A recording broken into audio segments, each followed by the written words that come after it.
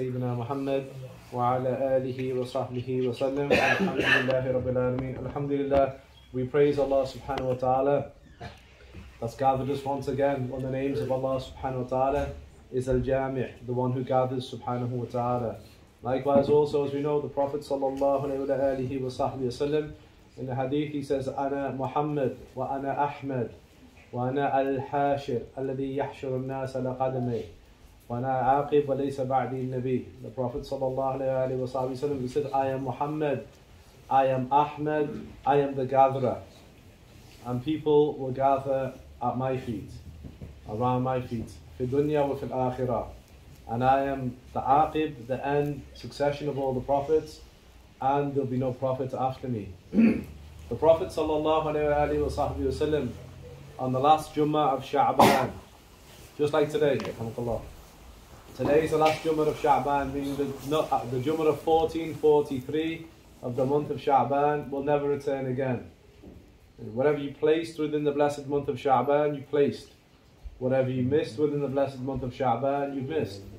And the Prophet sallallahu he said, Allahumma barik lana fi Rajab wa Sha'ban wa ballighna Ramadan. Allah bless us in the month of Rajab and in the month of Sha'ban and allow us to reach the month of Ramadan. Just allow us to reach the month. All khair is in the blessed month of Ramadan. On the final khutbah, on the second uh, of the of the Jummah on Sha'ban, the second year after the Hijrah, the Prophet wasallam he spoke. He stood up and he gave the Jummah khutbah, and his Jummah khutbah was about this blessed month that Allah subhanahu wa taala prescribed for the believers to fast. So we're just going to read a little bit from the khutbah so we understand what the Prophet ﷺ said. He said, أيها الناس قد أظل شهر عظيم مبارك شهر فيه ليلة خير من ألف شهر وجعل الله صيامه فريضة وقيام ليله تطوعا من تقرب فيه بخصلة من خير كان كمن أدى فريضة فيما سواه ومن أدى أدى في فريضة فيه كان كمن أدى سبعين فريضا فيما سواه وهو شهر صبر والصبر ثوابه الجنة وشهر مواسى وشهر يزاد في رزق المؤمن فيه من فطر فيه صائما كان مغفرة لذنوبه وعتق رقبته من النار وكان له مثل أجره من غيره أن ينقص من أجره, أجره شيء. فقالوا يا رسول الله ليس كلنا يجد ما يفطر الصائم قال صلى الله عليه وآله وصحبه وسلم يعطي الله هذا الثواب من فطر صائما على تمرة أو شربة ماء أو مذقة لبن وهو شهر أوله رحمة وأوسطه مغفرة وآخر عتق من النار. من خفف عن مملوكه فيه غفر الله له واعتقه من النار. واستكثروا فيه من أربع خصال. خصلتين تردون بهما ربكم وخصلتين لا غنى لكم عنهما. فأما الخصلتان التان تردون بهما ربكم فشهادة لا إله إلا الله وتستغفرونه. وأما الخصلتان التان لا غنى لكم عنهما فتسألونه الجنة وتتعوذوه تتعوذون به من النار. ومن سقى صائما سقاه الله من حوض شربة لا يظمأ بعدها أبدا. The Prophet sallallahu alayhi wa sallam in this khutbah, the second year after Hijrah, he stood And he said to his companions, he said, O people, all people, قَدْ أَظَلَّكُمْ شَهْرَ عَظِيمُ مُبَارَكٍ You are now on the eve of a great blessed month. شهر فيه ليلة خير من ألف شهر. You have a month now in which Allah subhanahu wa ta'ala has placed in it a night خير من ألف شهر. It's not a thousand months, it's greater than a thousand months. So the companions of the Prophet وسلم, on one occasion they were sitting outside and they were kind of upset, anxious. Why? And the Prophet وسلم, came out and they said, Yeah, the Prophet said, what's with you all? And they turned around and said, You know, us, we only have a short lifespan. And the Prophet وسلم, said, Most of my ummah, they will die between the age of 60 to 70. Anybody who lives over a day over 70 years old, Allah subhanahu wa ta'ala has expanded your lifespan. But the vast majority of the ummah between the age of 60 to 70, you're going to find they die. You find the Rasul, 63 years of old age, on a dominant opinion, dies. Abu Bakr is 63 years old. Umar, 63 years old. Khulafa Rashidin, 63 years old. The vast majority of this ummah between 60 to 70. And they say we only have a short lifespan. The previous nations, they had many, many, many hundreds, some of them up to thousands of years, they live longer than us. And they had far greater actions than us. How can we compete with that, Ya Rasulullah? And we're the best of nations. And the Prophet ﷺ beseeches Allah subhanahu wa ta'ala, and Allah subhanahu wa ta'ala reveals, إِنَّا أَنزَلْنَاهُ فِي لَيْلَةِ الْقَدْرِ وَمَا أَدَرَاكَ مَا لَيْلَةُ الْقَدْرِ لَيْلَةُ الْقَدْرِ خَيْرٌ مِّنْ أَلْفِ شَهْرٍ تنزل الملائكة والروح فيها بإذن ربهم من كل أمر سلام هي حتى مطلع الفجر The, the eyes reveal, the souls reveal Al-Qadr, the night of power. إِنَّا أَنزَلْنَاهُ فِي لَيْلَةِ الْقَدْرِ لَيْلَةِ الْقَدْر Verily we revealed it on the, the night of power. The night of power, the entire Quran is taken from the Lawh al-Mahfuz to the very, very first heaven. And in a period of 23 years, Jibreel alayhi salam is going between the first heaven and the Rasul sallallahu 23 years. On the dominant opinion. Then the Imams of Hadramaut are going to say, what does it mean? Inna anzalnahu fi laylatil qadr. Means on that night the entire Quran is revealed to the heart of the Prophet sallallahu and the period of 23 years, Jibreel is going to the heart of the Rasul sallallahu extracting the meanings of Allah subhanahu wa ta'ala, revealing it to the Rasul sallallahu upon his tongue. As the Imams are going to say, Jibreel, he engages the Prophet sallallahu over 124,000 times. So I'm going to say 224,000 times he engages the Rasul sallallahu for this revelation, this Quran that has been revealed. وَمَا أَدَرَاكَ مَا لَيْلَةُ الْقَدْرِ What do you know of the night of power, Allah saying? What do you think you know about the night of power? لَيْلَةُ الْقَدْرِ خَيْرٌ مِّنْ أَلْفِ شَهَرٍ it's greater than a thousand nights in the, uh, with Allah subhanahu wa ta'ala. Now we asked some of the teenagers in the madrasa to work out what's a thousand months. What is a thousand months? And they equated it to 83 odd years, just over 83 years. I mean, you catch Laylat al-Qadr, you catch every goodness. Many people in this room right now, you've had more Ramadans than the Prophet ﷺ. See, the Rasul only has nine Ramadans in his life. Some use about 20, 30, 40, 50, 60 years of Ramadans. How many Laylat al-Qadrs have you caught in that time? How many Laylat al-Qadrs have you caught in that time? And what does that mean for you? You know, one tasbih on that night as if you praised Allah subhanahu wa ta'ala for 83 years. One sadaqah that night as if you've given sadaqah for 83 years consecutively, continuously, for every single moment that there is a moment in 23, in 83 years. Every single moment. We fast, we break our fast. We give charity, we stop. But can you imagine what Allah has for those people who give charity that night? They catch that night every single moment for 83 years and beyond, you've been given charity. That recitation of Quran, as if you recited Quran 83 years plus with Allah subhanahu wa ta'ala. The Prophet telling us. And then he says, تنزل الملائكة والروح فيها بإذن من ربهم. Now, that on that night, angels are going to descend upon that night. والروح. And the ruh is going to descend on that night. And so the ulama tafsir, they're going to say, what is the ruh? What is the, the ruh, that name ruh? What is descending with the angels? Some of them say Gabriel. Jibreel alayhi salam, he's descending with the angels. The Prophet sallallahu in the hadith, he says, on the night of power, Allah subhanahu wa ta'ala, he allows a descension from the heavens, more angels than there is sand on the earth, than the grains of sand than the shrubs, than stones, the number of angels that are descending on that night. Who's leading them? In one opinion, Gabriel leading them.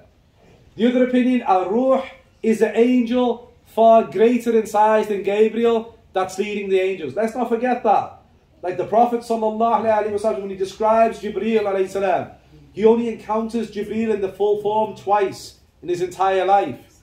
And the Prophet describes Gabriel. He said, one wing of Gabriel, one wing.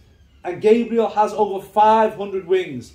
One wing is from the east horizon to the west horizon.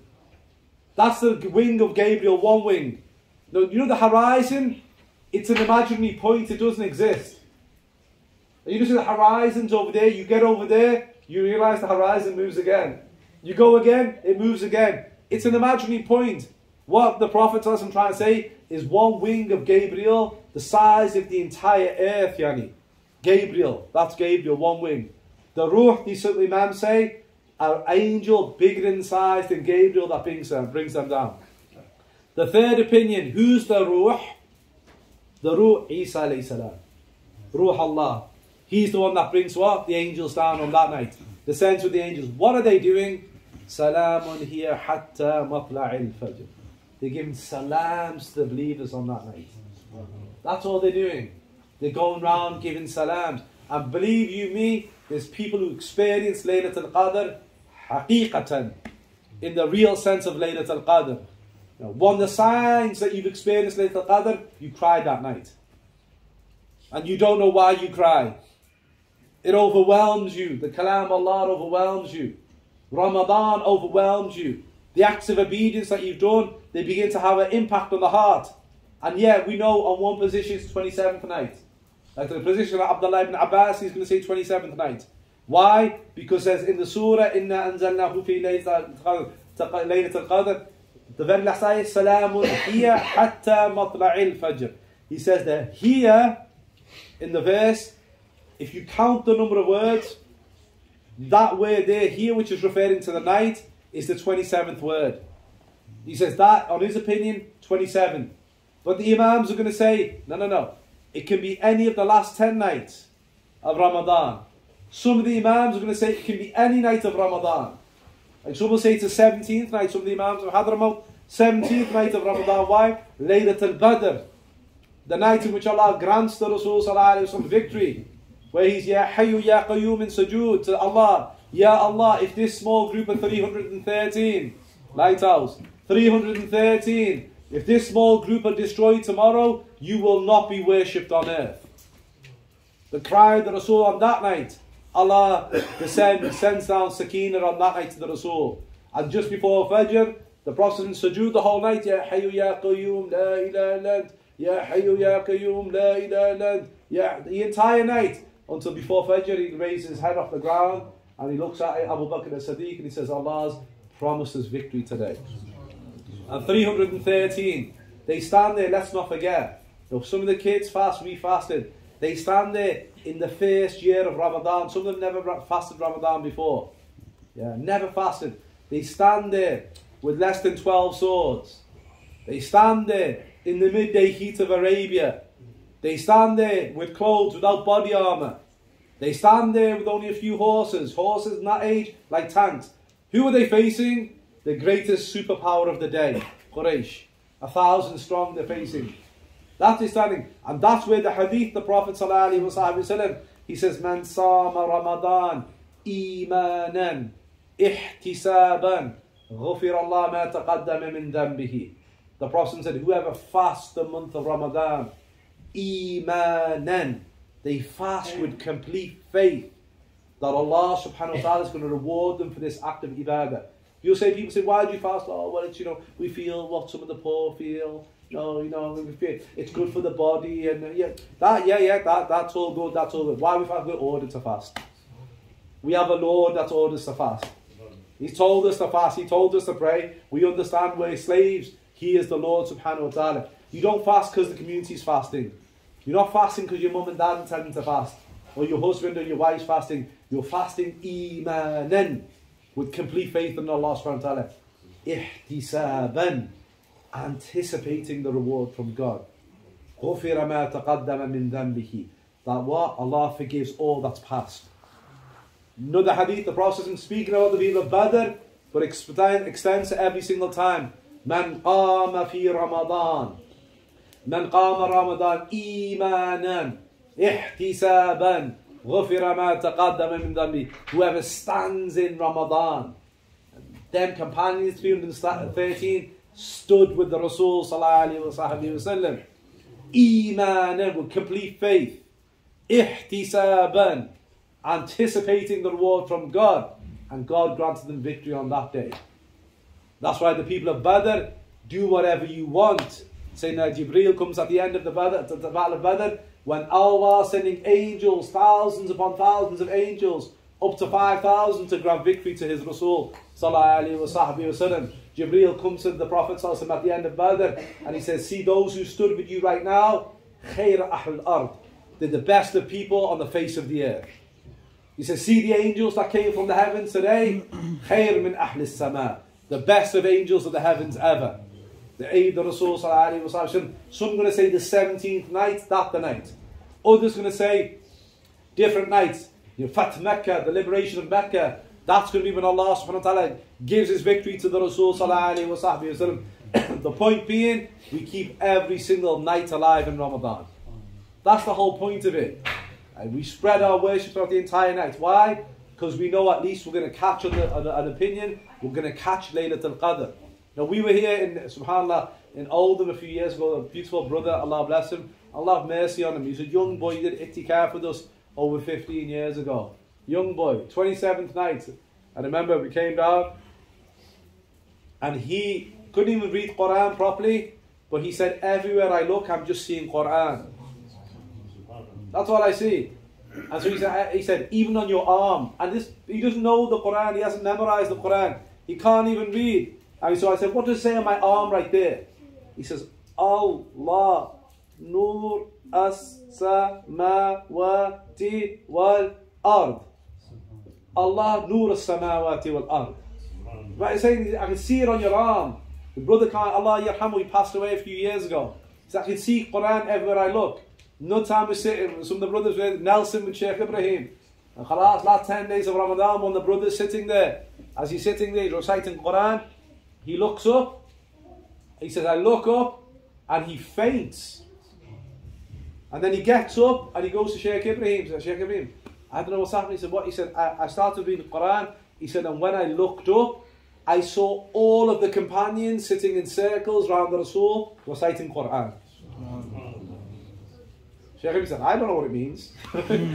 so phones in Yemen. Khalas speaks to one of the teachers in Yemen. What does that mean? One of the teachers turned around and said, Tell the brother he's experienced something of Laylatul Qadr. Those hearts, sensitive hearts, veils are lifted on that night for those type of individuals. The rest of us, if we don't experience, it doesn't matter if we experience or not. The thing is, we believe with yaqeenan that there's a Laylatul Qadr. And we believe that it's in the last 10 days. خير من ألف شهر جعل جعل الله صيامه فريضة Allah subhanahu wa ta'ala has made fasting obligatory وقيام ليلته تتطوعا and he's made standing in night prayer from that which is voluntary to do. and then the Prophet ﷺ says, "Man taqarraba bihi bi min khair." Whoever performs an atom's weight of atoms, uh, atoms weight of goodness in Ramadan, kaman adda farid. I mean, whoever performs anything of charity, anything of charity in Ramadan, even smiling when you don't want to smile, because you're fasting. yeah. Even smiling when you don't want to smile you have the reward of a fard. Charity in the month of Ramadan, best charity, reward of a fard. Now, anything that you do from nafil, reward of a fard with Allah subhanahu wa ta'ala. And then the Prophet said, whoever performs that which is fard, he has the reward of 70 faraid, 70 fard. You pray your prayer in Jama'ah, 70 fard, as if you performed in that month. Deeds multiplied, in some narrations are going to mention 70 to 500 to whatever Allah subhanahu wa ta'ala wants it to be. Whatever Allah subhanahu wa ta'ala wants to be from the most from when the clock strikes Maghrib on the first night of Ramadan, the gates of goodness are open for all the Ummah. The entire Ummah, all goodness is open. And he continues by saying, Sallallahu Alaihi Wasallam, Huwa shahr sabr.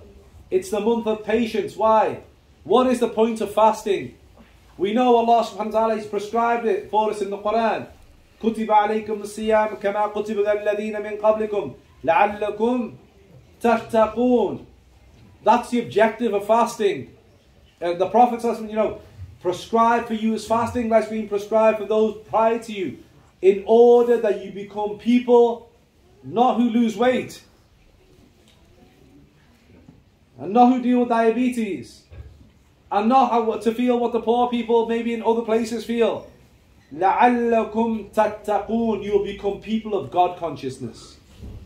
You'll become people who are aware of God. The Imams of Fiqh are going to tell us why. Fasting, why? Because we all have egos, we all have desires, and now that nafsa ammara bisu that calls us to evil, we're going to put it in check by fasting. We're going to put it in check by fasting. Why? We're not going to look at haram. Look, the Prophet ﷺ, I know many of you attending courses on fiqh. Those things that break fast. And you say eating and drinking and having relations with your spouse in the daylight hours, they break your fast. But the Prophet ﷺ didn't say that. Look what he said. He says, خمسة يفطر الصائم. Five things that break your fast. Five things that break them. Four of them in relation to your tongue. One in relation to your eyes. The first thing the Prophet said, kadhib, person who lies while they're fasting. A white lie while you're fasting. Any lie while you're fasting breaks your fast. The second one, the second one, ghamima, backbiting. A person who backbites, speak behind people's back. On the phone, on WhatsApp, on whatever social media right there. Fast broken, the Prophet telling us. The third one, namima, spreading gossip. In the age which, subhanAllah, like no other age in it. Ila afaq, as the Prophet said. A person will wake up and a lie will reach the afaq, the horizons in a moment. The Sahaba at that time, no frame of reference for that. No frame of reference we see in our age, in it. In a split second, it's on the other side of the world. Spreading gossip. The fourth one, the Prophet ﷺ mentioned, a qawl azur, a false testimony, a lie mentioning the name of God. Wallahi, I swear by Allah, I swear on the Quran, I never, and I, but I did and I didn't. Lying whilst mentioning the name of Allah subhanahu wa ta'ala. All in relation to your tongue. The fifth one, the Rasul going to tell us, gazing at something with desire. Gazing at the opposite gender with desire whether that be on your phone or in the street or whatever it may be. Look at that, the Imams are going to say, and Imams are going to say, what does that mean? It means in, in aspect of the law, the fiqh, you haven't broken your fast. But your reward, your qiyamah, you have none for that fast. The blessings of that fast, you don't receive it. And some of the Imams are going to say, you have to make qada of those fasts. Why? Because the Rasul tells you that it breaks it. But it's nothing physical, it's metaphysical. It's to do with your state right there. The Prophet said, Shahr Sabr. It's the month of patience. Naam. And he says, Wasabr, thawabuh al Jannah. Like in the Quran, Allah subhanahu wa ta'ala says, Ista'inu billah, ista'in billah bi sabri wa salah. Seek aid in God with patience and with prayer. The Imams of Tafsir are going to say, what is patience here? Fasting. Fasting. You discipline the soul by fasting. See, when you fast, alhamdulillah, people don't talk a lot in it. People got no time. Why? It's too tiring to talk. You see, when people break the fast, everyone talking in it. But before that, no one talking. Even the kids don't talk. Alhamdulillah. The madrasas are quiet. The houses are quiet. Why? Now look at the Prophet said, how many a person who they fast and all they receive from their fast is hunger and thirst. That's all they receive. Why? Because all they do all day is speak about food and drink. That's all they think about, food and drink, when they're going to break the fast. You know, that's what they think about all the time, when they're going to break the fast. See, we should be thinking about great, greater things, things that are beyond that, in terms of our religion. Things of what is in store for those people who fast. Know, it's not just a month of the Quran, but it's a month of knowledge. It's a month of what? Understanding why we fast. It's understanding why we connect to the Book of Allah. It's understanding why we connect to the people of Allah subhanahu wa ta'ala. So he says, Shahr Musawar. He says, Shahr yuzadu fi rizq al-mu'min fihi. He said, the month in which the provision of a believer increases. and then he says, Man fatara fihi sa'iman. Kana maghfiratun li dhunubihi wa itfu raqabti min nar. The Prophet said, whoever gives a fasting person to break their fast. Yeah, see, it's not the biryani that comes afterwards. And it's not the meal that comes afterwards. You know, we always have this question in the, in the madrasa. we say, what was the iftar of the Prophet ﷺ?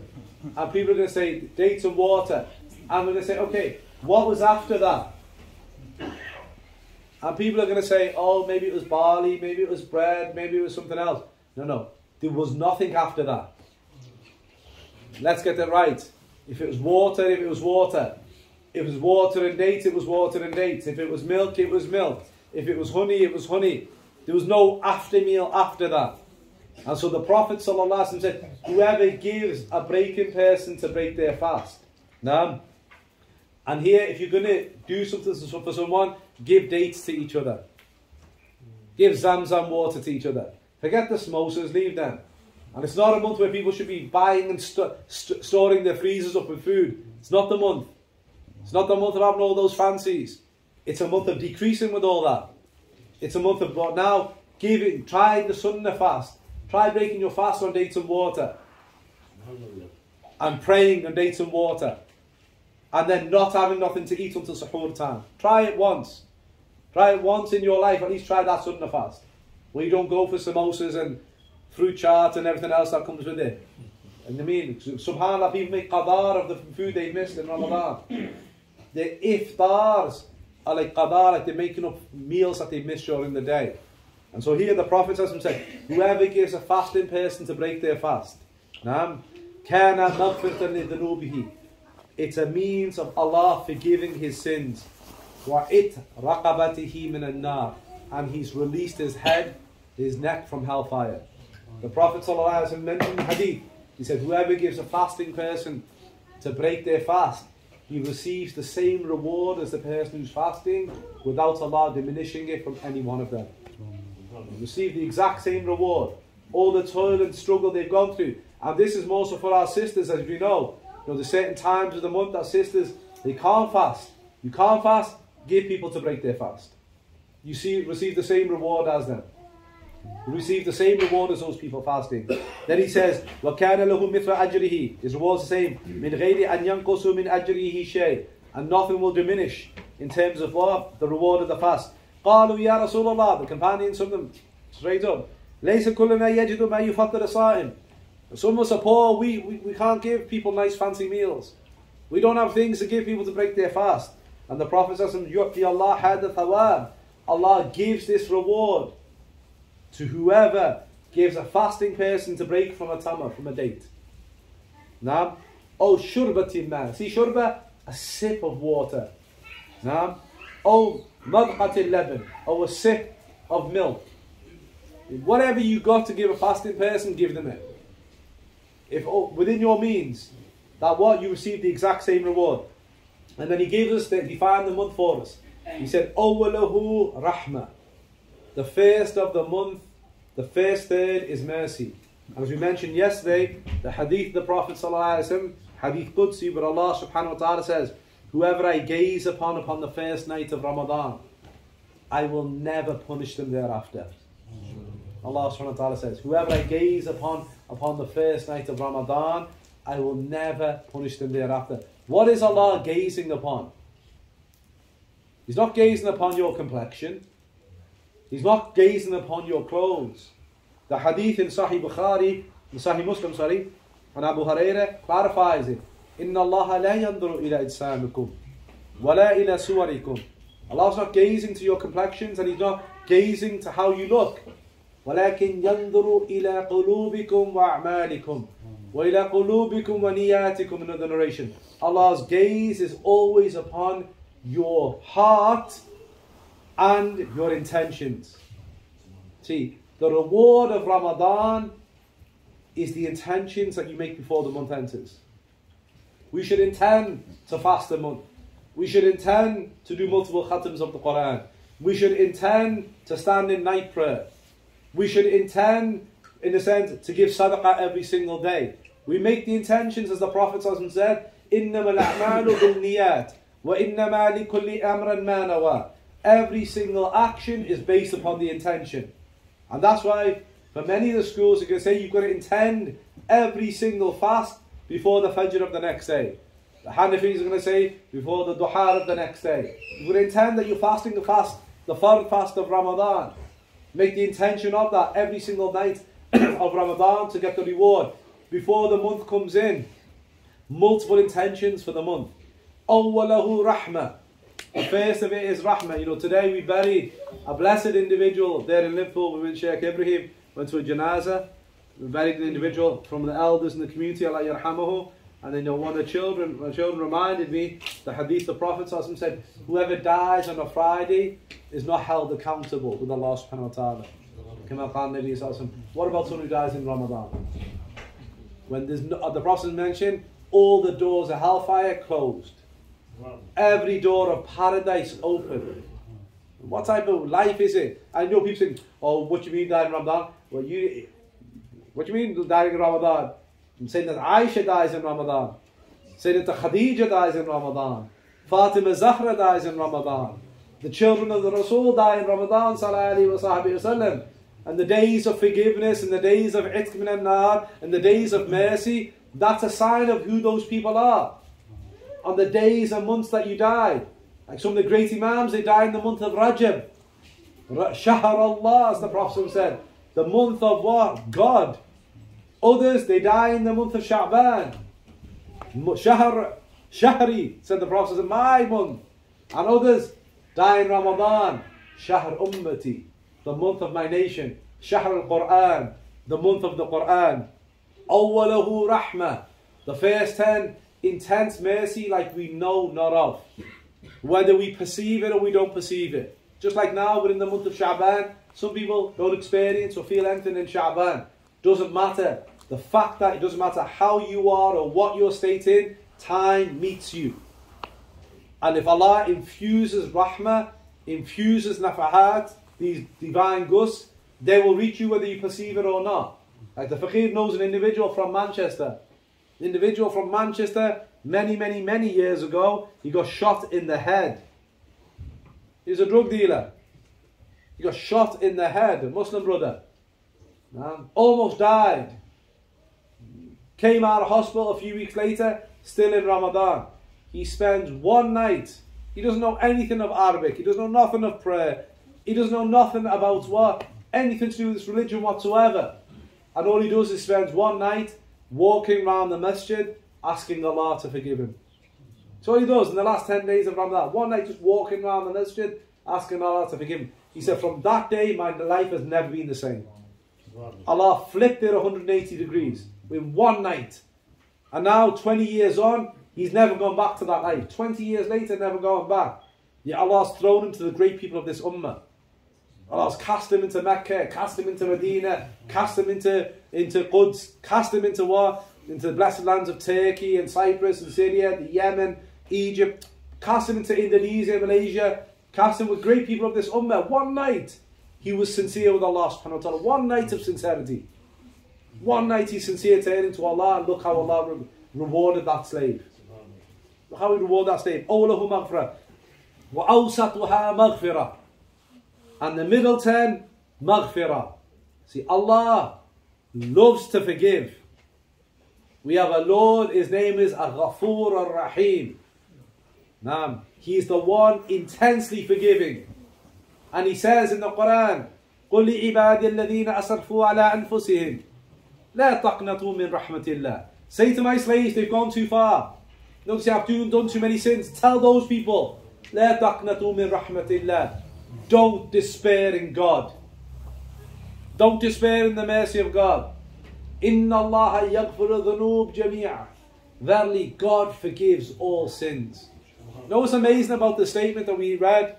The Prophet another statement said, من صام رمضان إيمانا احتسابا غفر ما له ما قدم من ذنبه وما تأخر.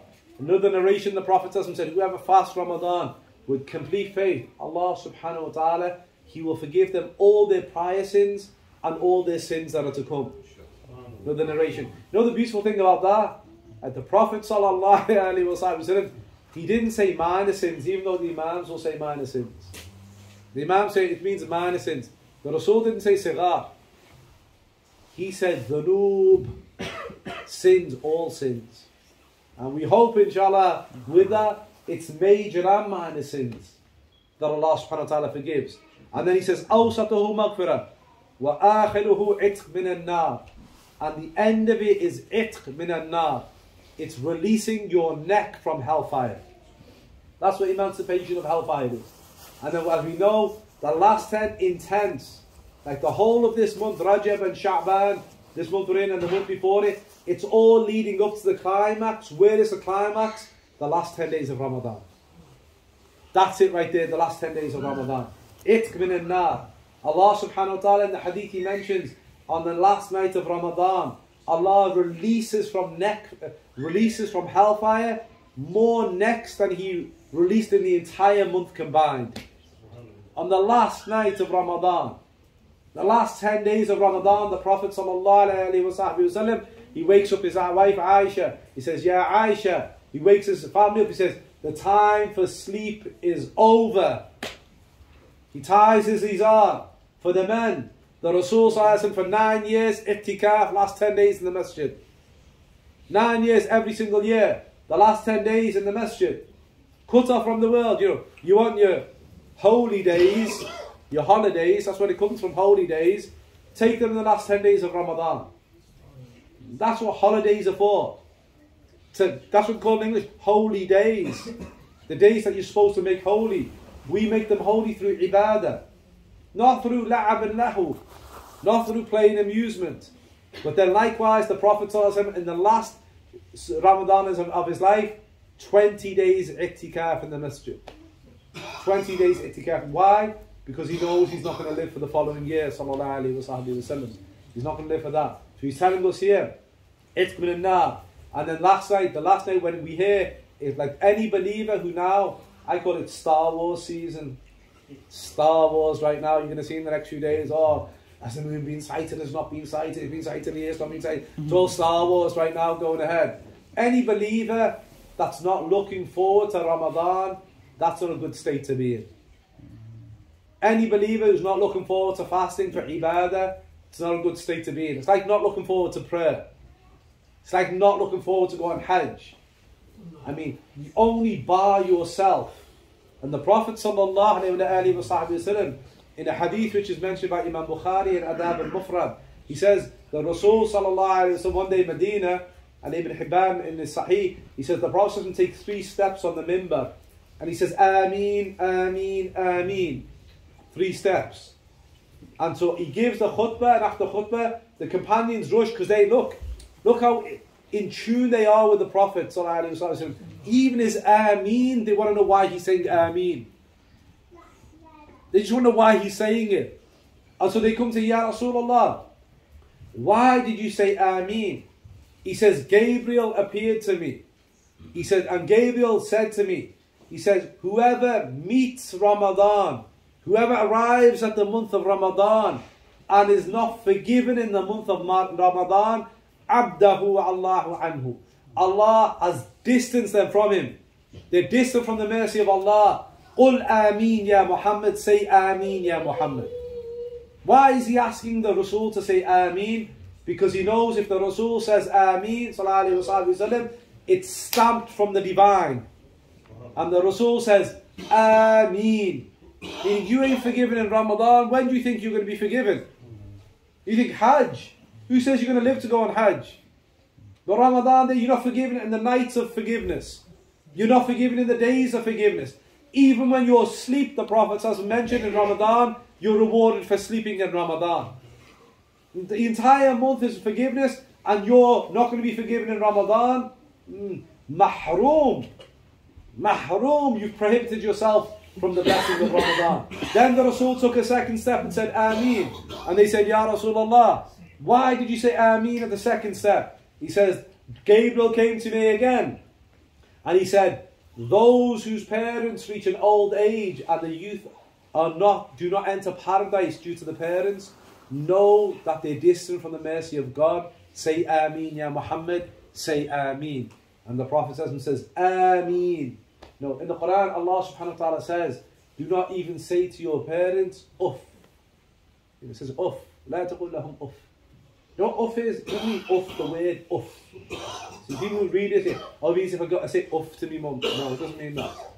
Off in Arabic, it's the least type of disrespect you can show your parents. You know what ulama say? And you go, okay. See that? That's off in Arabic. That's the lowest form of disrespect that you can give. Allah saying, don't even say that to them. Don't even show them that. No, gazing upon the face of your mother in the sight of Allah, greater than gazing upon the Kaaba. No, the dua of the mother guaranteed acceptance by Allah subhanahu wa ta'ala. The hadith, the Prophet will tell us that the pleasure of Allah is with the pleasure of the father. The anger of Allah is with the anger of the father. The Rasul telling us in the multiple narrations about the rights of parents. Be careful. And they're from those people who have barred themselves from Ramadan. From the four types of people that have barred themselves from the blessings of Ramadan, those who what? Turn away from their parents. Now be very careful, the rank of parents, not like another rank. And then likewise the Prophet وسلم, when he took the third step and he said Ameen, they said, Ya Rasulullah, why did you say Ameen? Imam Bukhari again he brings it. And the Prophet said, Gabriel came to me the third time. He says, Oh Muhammad, whenever you are mentioned and they do not send prayers upon you, know that they are distant from the mercy of Allah. Say Ameen, Ya Muhammad, say Ameen. And the Prophet sallallahu alayhi wasallam, he says Ameen. Don't be sitting there when you hear his name and don't say nothing. In the hadith in Tirmidhi, the Prophet ﷺ mentioned, Man indahu falam al-bakhil, man dhukirtu indahu falam yusalli alayh.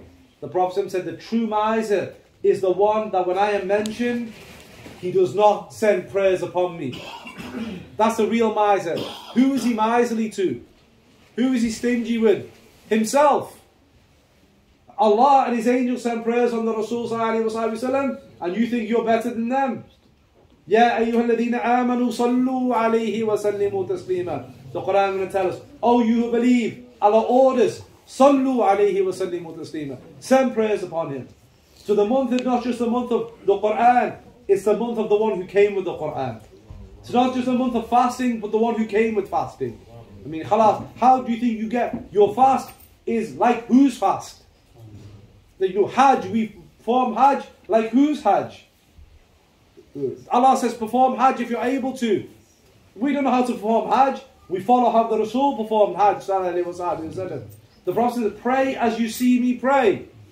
Allah doesn't say sallu in the Quran. He says aqim salah.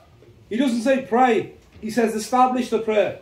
But who's the one who showed you how to pray? Sallallahu alayhi wasallam. We pray every ruku, every sujood as he did. Sallallahu alayhi wasallam. Even though we're nothing like him, we imitate him. Our fast, we imitate him in fasting. We imitate him with recitation of Quran. We imitate him in the way that we walk. We imitate him in the way that we interact. We in, in, in, imitate him in the way that we deal with brothers and we deal with sisters. We deal with husbands and we deal with wives. We deal with children. We imitate him, sallallahu alayhi wa sallam. Because Allah subhanahu wa ta'ala says, إِنَّ لَكُمْ فِي, فِي رَسُولِ اللَّهِ أُسْوَةً حَسَنَةً now, Verily for you in the messenger of God, for those who believe in Allah on the last day, is the most perfect, perfect of examples. And what's amazing right there, the Quran says, Uswat al Hasana. Doesn't say Qudwat al Hasana, which means the same thing. Anyone's got Google Translate will type in Qudwa and it'll say a model or an example. And then they'll type in Uswa and it will say a model or say example and say, look, it means the same thing. No, it doesn't mean the same thing. See, in the books of fiqh, you'll find the qudwa. The imam is the qudwa. He's right there in front of you. You see him. That's the example in front of you. The uswa is the example that you have that you haven't seen yet.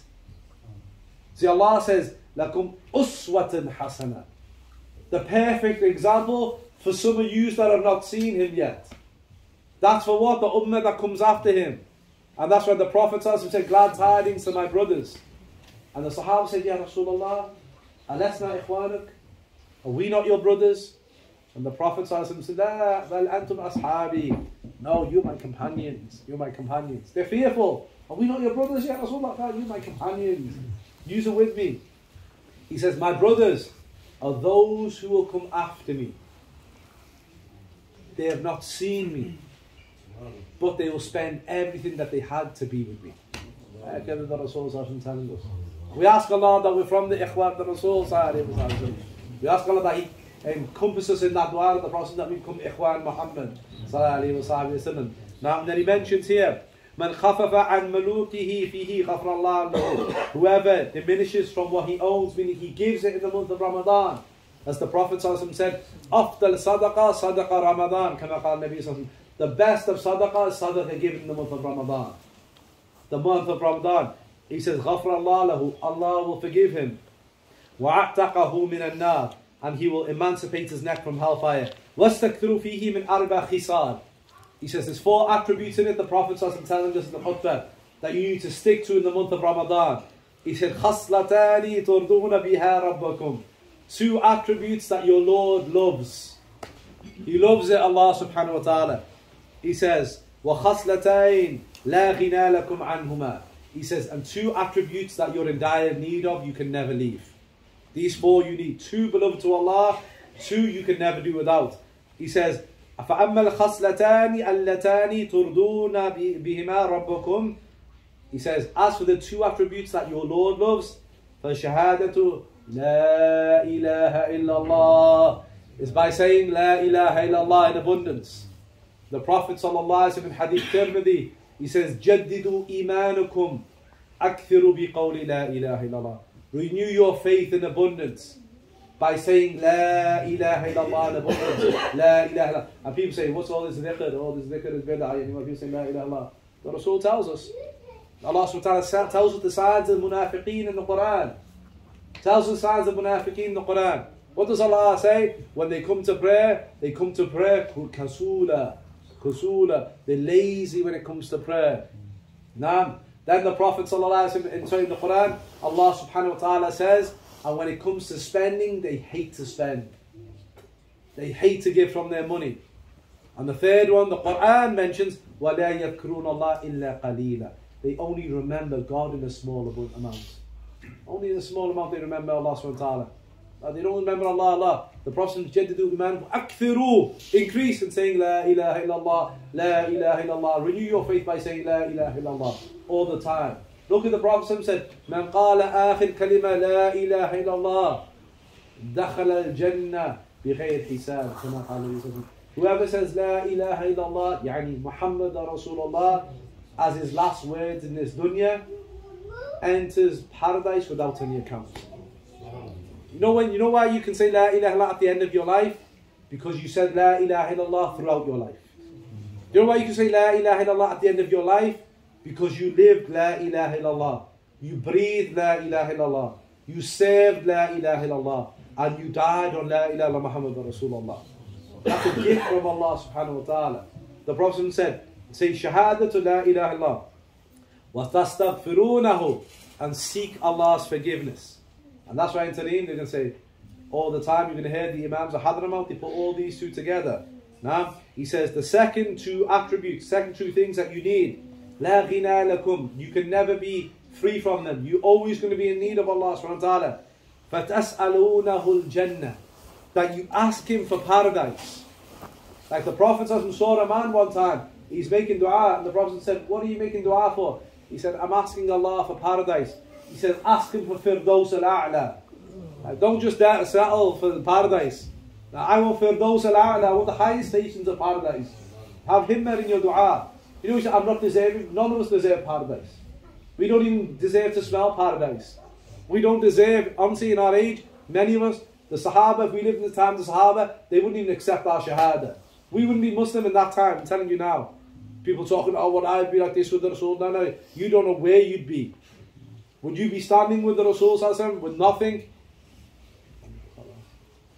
Would you, in, in the fasting, in the faith, Khalas going up against the superpower of the day? Would you? I would, whatever. You can't even get up for Fajr and you're going to talk all that talk. Can't even get up for Tahajjud, you're going to talk all that talk. Don't fast Monday and Thursday, you're going to talk all that talk. Don't fast white nights, don't fast Sha'ban, you're going to talk all that type of talk. Khalas. The Prophet ask Allah, we're not deserving of anything. We're asking for Jannah. Why? Because Allah is a lot He loves to give. And He'll give to whoever He wants, subhanahu wa ta'ala. And in the fourth one, the Prophet said, bihi بِهِ مِنَ النَّارِ And seek refuge in God from His hellfire. Now, so the Imams of Hadramaut, what they did, beautiful, looking at this, look at this.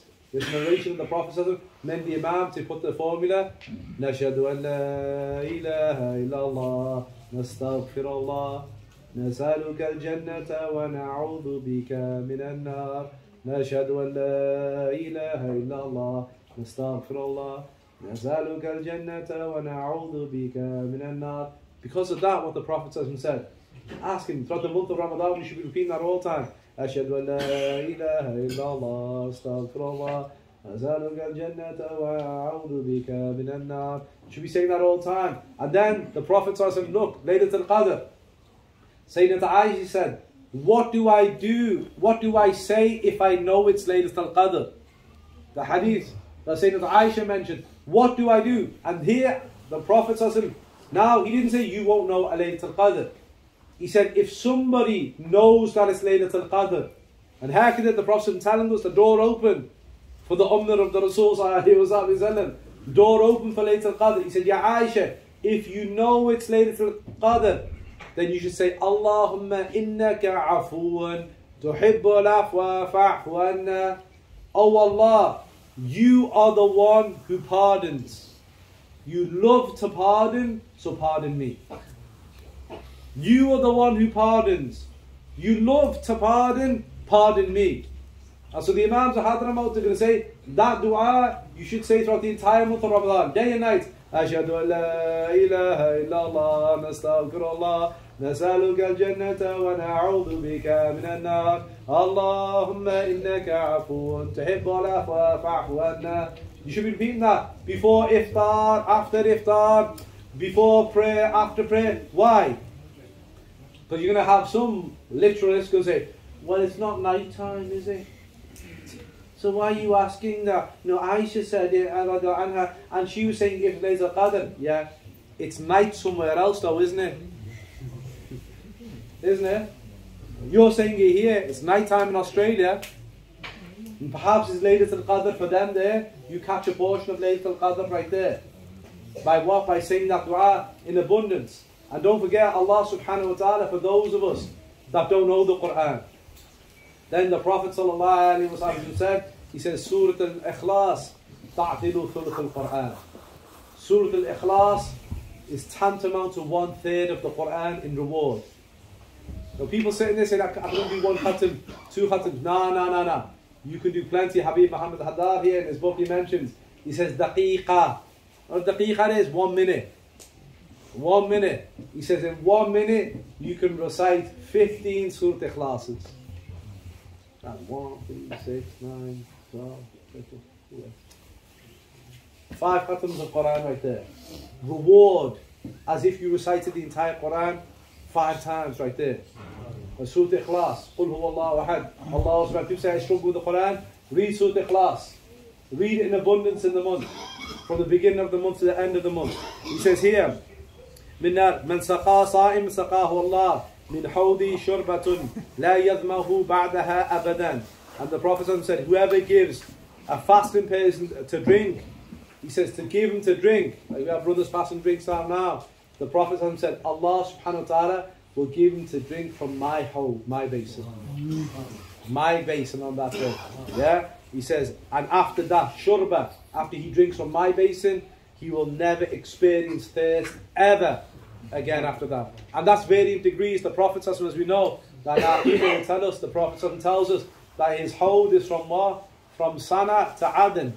In one narration from Sana to Aden, he mentions the size of the basin, the hold of the Prophet. And he says, you know, the number of pitchers, the number of cups, the Prophet telling us, around his basin, he says, they are tantamount to the number of stars in the sky.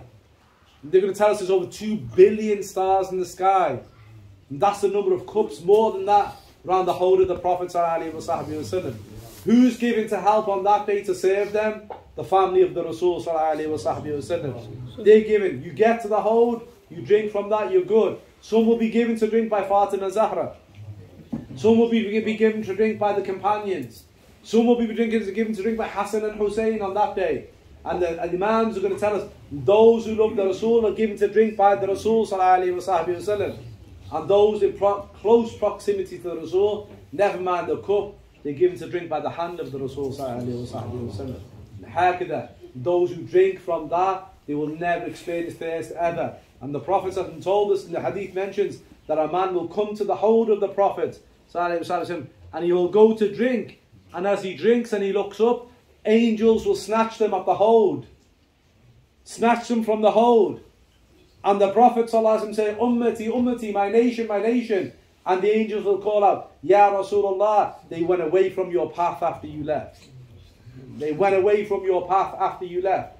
They don't drink from the hold of the Prophet ﷺ, not a good sign on that day. And so that here, the khutbah, the Prophet ﷺ mentions on the, on the Jum'ah, like today, we just finished the Jum'ah today, the last Jum'ah of Sha'ban. We have a great month on our heels right now. And so here, the name Ramadan, as we mentioned, some people ask, why is it called Ramadan? And Habib Muhammad here gives a definition. He says, Ramadan yurmidu dhunub, ay yuhrikuha. He says, Ramadan, the word for Ramadan comes from the word in Arabic, from armada yurmi, yurmidu, which means to burn and to scorch. And so here the, the Imam's going to mention that when the Arabs in Jahiliyyah, they reconfigured the calendar, calendar they placed Ramadan in the highest month of the year, in the highest month of the year, meaning in the summertime, when it was intense heat. They made that month Ramadan. But here, the greater meaning of Ramadan is that Ramadan scorches your sins. That's what it's there to do. The month is purification. Although we have to be very, very careful because the month can also be a means for us to be scorched by Allah Yom Al Qiyamah. Those who don't treat the guests properly, mm, You have to deal with the master. The guest is Ramadan. Ramadan comes as an entity. We're not worshipping Ramadan, we're worshipping the Lord of Ramadan. See, the Lord of Ramadan is the same Lord of Adam, the same Lord of Ibrahim, wa Nuh, wa Muhammad. Allah does not change. You know, we hear people turn around saying, you know, I feel distant from Allah. I feel like I'm not close to Allah. I feel like I've cut myself off from Allah. They, uh, the, the, uh, the question I always ask, who moved? Allah doesn't change. You're the one who changed. Allah doesn't change. He's not affected by time or place or space. Not affected by anything. But you're the one who moved. You moved away from His remembrance subhanahu wa ta'ala. And then you feel in the state that you feel in. But Ramadan now, a chance to reconnect to Him subhanahu wa ta'ala. Chance to reconnect to Him subhanahu wa ta'ala. And He mentions here, وَفِيهِ تُفْتَحْ أَبْوَابِ الْجِنَانِ As the Prophet mentioned, every single door of paradise wide open. every single door of paradise wide open, right? And we know the door, one of the doors of paradise, Rayyan. The Prophet told us, the door called Rayyan, the door of those who fast those of those who fast, and the Imam say, those who fast Ramadan. Those who fast Ramadan enter through that door. Or the Imam's going to say, no, Ramadan and that which is extra. وَتُغْلُقْ أَبْوَابُ النَّارِ And what we're going to find is that all the doors of hellfire locked, sealed. But trust me, all you're going to see now in Ramadan is your true self. That's what you're going to see. You're going to see your potential as well, what you have as a believer. What you have as a believer, you're going to see in Ramadan but you're also going to see your own flaws. You also need to know what you need to work on. He says, أجر صيامه فوق الحساب لأن الله لأنه لله خاصة. And he said the reward of it is beyond comprehension because Allah subhanahu wa ta'ala has made it specific for him. The hadith mentions that Allah subhanahu wa ta'ala says all the acts of the son of Adam are for him except for fasting. That is for me. And I will reward it as I see fit. I reward it as I please. Now he says, he says, ريح الصائم أطيب عند الله من ريح المسك. The smell, the fragrance from the one who's fasting. The smell from the one who's fasting, from the mouth of the one who's fasting. Now for us it might not be a nice smell. he got his fasting up in Sally's not nice. He says, Atyab indallaha min rihil misk. It's more fragrant in the sight of God than the smell of musk. Um, the smell. Why? Because you've left food and drink, you've left your desires for Him, subhanahu wa ta'ala. You know, one month of the year. You know, subhanAllah, you think about it, you know what? 11 months of the year, you can do whatever you want. You want to fast. Like some brothers tell me, I can't, they can't fast.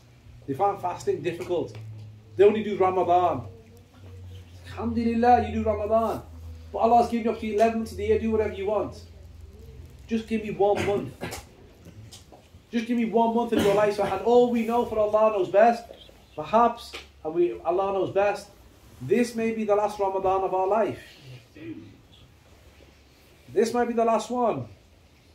You know, as you say, go strong or go home. And we're all going home. Back to Allah subhanahu wa ta'ala. See those people in Turkey and Syria, Allah have mercy on their souls. No doubt they were preparing for Ramadan. No, no doubt those middle-aged men, middle-aged women, those young children, those teenagers, they thought and they expected that they were going to live to see Ramadan. But Allah subhanahu wa ta'ala decreed that they weren't going to see Ramadan. Their last Ramadan was the Ramadan before. If we live to Ramadan, and we Allah knows best, perhaps it's the last Ramadan of our life. Don't waste the opportunity. And all you need to do in the sight of Allah is get one Ramadan right. You just need to get one Ramadan right. You think about it, you just got to get one right with Allah.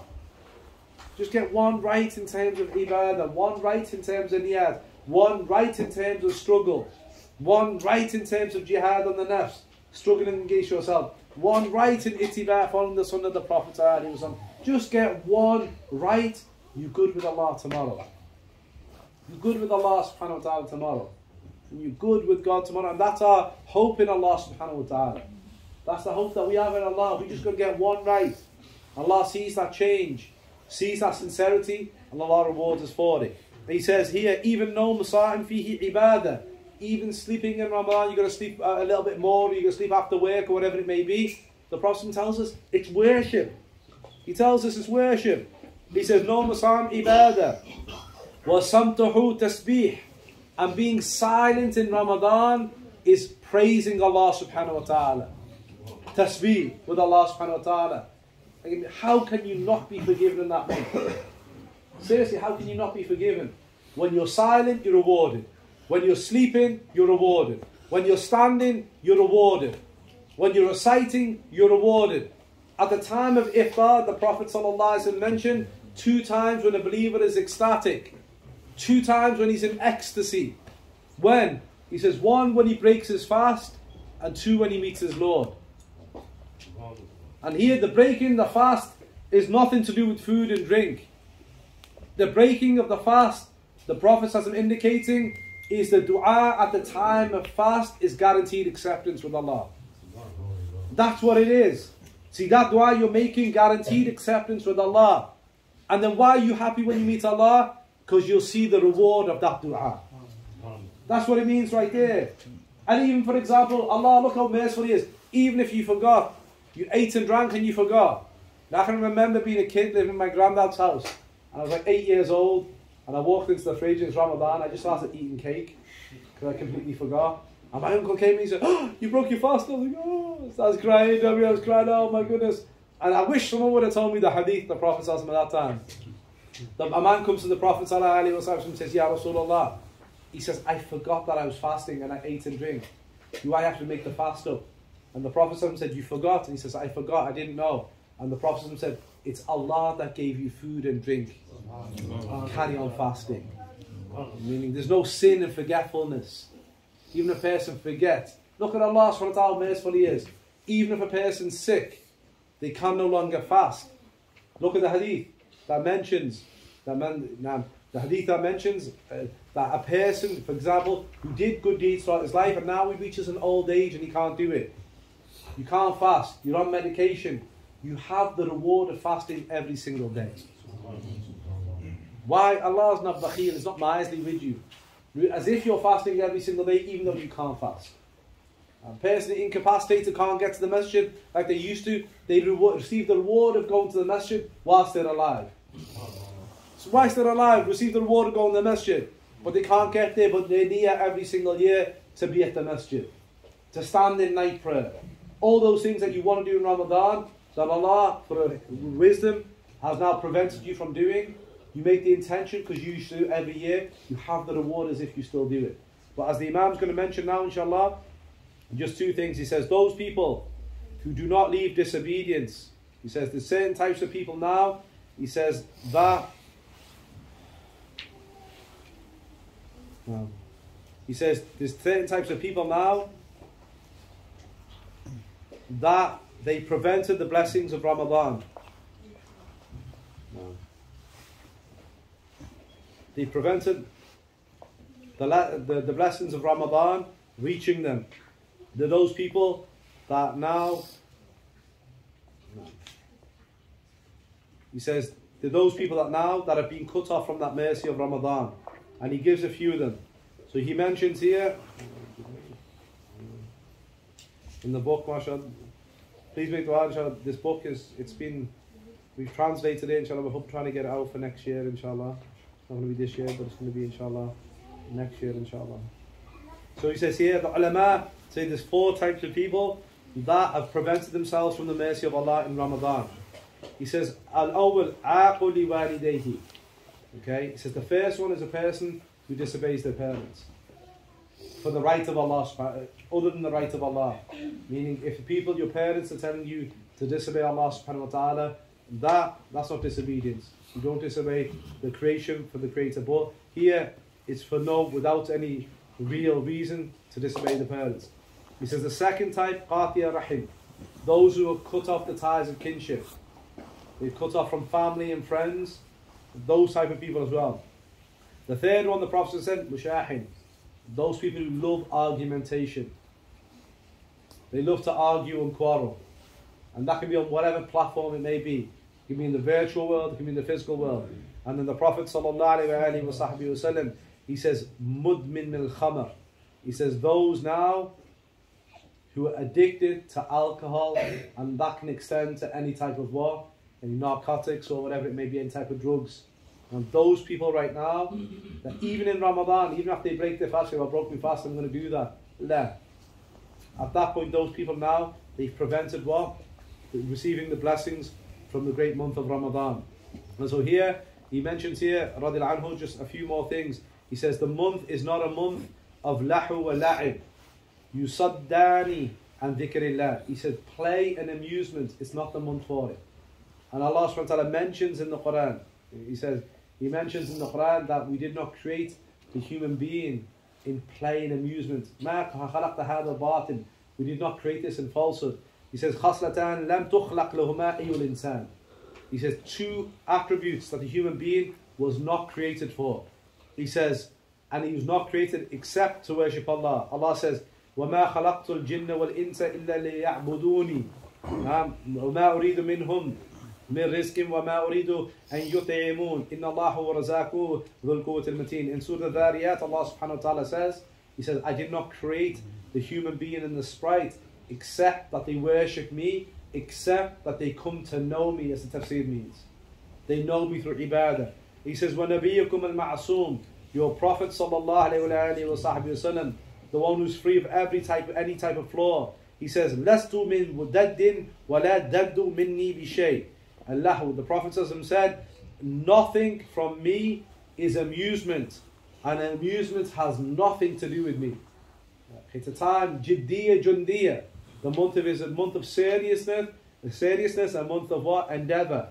He said, وقد سن لك قيام هذا الشهر واعتكاف كل عشر مدارسة القرآن في شهر الكريم واغتنام الفرص فإنما تمر مر السحائب سحائب نعم he says, وَذَرِ الَّذِينَ اتَّخَذُوا دِينَهُمْ لَعِبًا وَلَحْوًا وَغَرَّتُهُمُ الْحَيَاةُ الدُّنْيا Allah says in the Quran, He says, and leave those who have taken their religion as plain amusement. Yeah? وَغَرَّتْهُمْ حَيَاةُ الدُّنْيا And the life of this world has deluded them. And Allah says, فَذَرْهُمْ يَخُوضُوا وَيَلْعَبُوا وَيَلْعَبُوا حَتَّى يُلْقَاهُمْ يُلْقَى يُلْقَى يُلَاقُوا يَوْمَهُمُ الَّذِي يُوعَدُونَ He says, leave them Allah says, leave them in their play.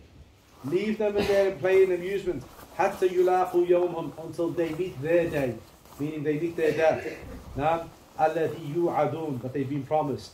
So he says here, the month is a month of standing in the month. I'tikaf in the last 10 days. Revising the Quran, engaging with the book of Allah subhanahu wa ta'ala. واغتنام الفرصة فإنها tamru مر He says, take advantage of the opportunity because the opportunity is going to pass like clouds in the sky. It's going to come and it's going to go. And so here, inshallah ta'ala, the great Imam he mentions, and he mentions many other, mashallah, blessed points in here. So he says here, for example, the masajid, the houses of Allah subhanahu wa ta'ala, they should be brought to life. And then likewise he mentions also about staying away from those things that waste your time, such as films, such as watching dramas on TV, and all this type of put the TVs away, put the social media away, put everything away as much as you can, or limit it in the blessed month of Ramadan so you make the most. And once you see your potential, then for those people of Allah subhanahu wa ta'ala, as they mentioned, Imam Ghazali will mention, the layman fasts from food and drink. The average Muslim just fasts from food and drink. Yeah, and likewise engaging with their spouses in the daylight hours. He says, but the elect of this ummah, they fast from food and drink in Ramadan, and also they watch the state of their hearts towards believers. They fast from that. He says, but the elite of the elite, he says they fast from food and drink. They fast from what? Disobedience of the limbs. They and they also likewise fast from disobedience of the heart inside of Ramadan and outside of Ramadan. He says for them, every single day is Ramadan. Every single day is Ramadan. And you know, Eid, you know, Eid, for us, we have two Eids in our religion. They both come after two great acts of worship. It's not like Christmas and Easter, which will fall on any time. There's no real reason for those type of events. A New Year. We don't have that. We have Eid al-Fitr and Eid al-Adha. And they come after two great acts of ibadah. One comes after fasting. The other comes after Hajj. The real Eid is for the one who worshipped in Ramadan. Like the, the Imams have to say, ليس العيد بالملابس الجديد ولكن العيد من طاعته يزيد. They say real Eid is not about buying nice fancy new clothes. He says the real Eid is for the one who found that his obedience is an increase to God. It's increased to God. Like Sayyidina Ali karamallah wajhahu. A man comes to Sayyidina Ali bin Abi Talib anhu, karam He comes home and he says, Ghadan Eid. He says, tomorrow's Eid, ya Sayyidina Ali. Sayyidina Ali says, uh, he says, Al-Yawm Eid, Ghadan Eid, wa kulla yawm la a'si Allah fahuwa Eid. He said, for me, he says, today is Eid, tomorrow is Eid, and every day that I do not disobey Allah, that is Eid. Every Eid for me, every day I don't disobey God Almighty. But the real people of Allah, Eid al-Mubarak is when they meet their Lord it's when they go beyond the veil and they're going to see the results of all that ibadah that they did that Ramadan that they caught, and it'll be truly Eid Mubarak for them when they meet their Lord. We ask Allah subhanahu wa ta'ala for tawfiq, inshallah. We ask Allah that He makes it us from them, inshallah. And that is easy for Allah subhanahu wa ta'ala. We ask Allah subhanahu wa ta'ala to bless us what remains in the month of Sha'ban. That we end the month in goodness. Inshallah, that we begin Ramadan in the best of states. That we begin the month of Ramadan in the best of states. That we begin the month of Ramadan in the best of states. Inshallah ta'ala. We ask Allah subhanahu wa ta'ala anything wrong that we do in the month of Rajab and Sha'ban, that He forgives. And we ask Allah to forgive because He loves to forgive. So we ask that He forgives us, inshallah ta'ala. We ask Allah subhanahu wa ta'ala that anything that we've done wrong, that He changes it to good deeds. Because Allah has promised that in the Quran, يُبَدِّلْ سَيِّئَاتِ حَسَنَاتِ That He changes bad deeds to good deeds. We ask Allah that in these closing moments of the month of Sha'ban, that He changes our bad deeds into good deeds with Him, inshallah. We ask Allah ta'ala that He finds us, that before the month of Sha'ban is out, that He finds us in Tawbah and seeking His forgiveness. We ask Allah ta'ala that we become people of niyat. We ask Allah ta'ala likewise that we become people of action, inshallah ta'ala, in the month, outside the month, and every moment that we have that breath from Allah subhanahu wa ta'ala, and that we meet Him in the best of states, inshallah. Wa minkum, inshallah. Um,